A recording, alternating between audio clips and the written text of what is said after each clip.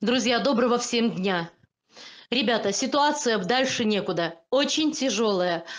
Заблокировали PayPal. Пришлось срочно открыть новый. Ребята, малыши просто как горох сыпятся. Поломанные, искалеченные тоже. Корма осталось действительно на два дня. Но, ребят, это вилами на воде. Друзья, у нас в жизни случаются не то что экстренные, а чудовищно экстренные ситуации. Вот как с этим котиком. Малыша нашли под машиной. Лапа, сама видите, немножечко внизу, немножечко вверху. Что испытал этот зверь? Ребята, да врагу не пожелаю, когда вот так голая кость торчит. Это, это вообще не, ненормально. И, и вы представляете, сколько времени эта лапа у ребенка болела, и никто, никто ему не помог. Ребята, мы с вами, это последняя инстанция. Ребята, у нас долг клиники. Меня просто посылают нахер уже открытым текстом.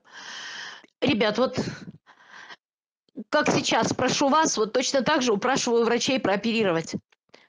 Ну, помогите, ребята, ну посмотрите, как творится, что. Разве можно оставаться равнодушным к чужой боли? Ну, люди мы после этого или нет? Ребята, нас 38 тысяч подписчиков, да если даже каждый даст по 100 рублей, мы купим и корм, и погасим долг в клинике. Ребята, ведь это приют, это бездомные, которые нуждаются в вашей поддержке и в вашей помощи. Ребята, наш канал – это просьба, постоянная боль. И вам решать, ребята, на чьей вы стороне. На стороне добра или зла, или будете равнодушно проходить мимо. Любой из вас может послать даже 10 рублей, слышите? 10, я уже не говорю про 100. Но любой может, ребята, любой, кто посмотрел этот ролик, я обращаюсь к вам.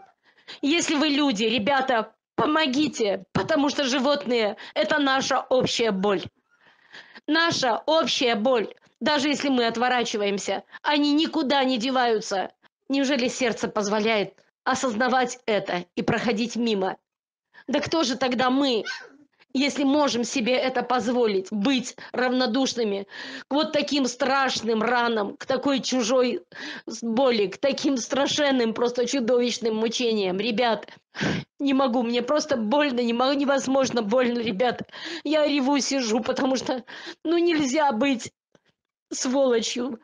Надо оставаться людьми, надо оставаться людьми, ребята малыши выброшенные в коробке как мусор под магазин.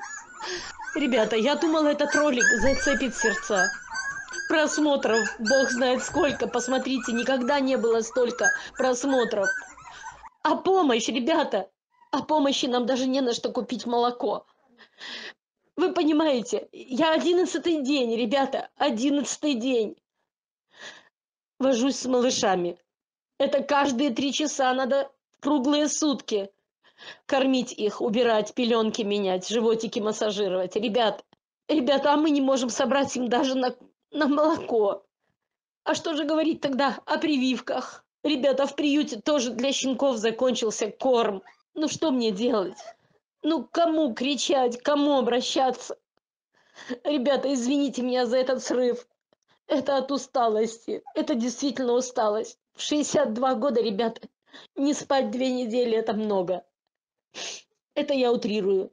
Хотя почему утрирую, ребят? Впереди еще минимум неделя, пока малышня начнет есть сама. Ребята, пожалуйста, помогите. Ведь у нас кроме вас никого нет.